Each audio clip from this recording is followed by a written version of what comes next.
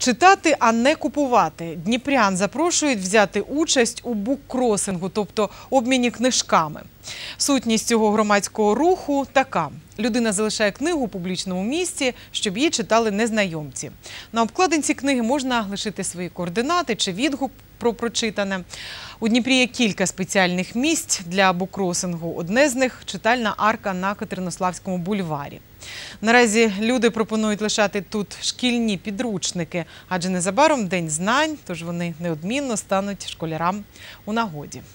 Так как я сама мама, и я приобретаю своим, э, своей дочке очень много э, литературы, то мне хочется Потом ее не просто в макулатуру сдавать, как делают очень многие, да, а сделать так, чтобы эти книги и дальше приносили пользу. Книжки школьной тематики. Это могут быть учебники, задачники, атласы, пособия всевозможные.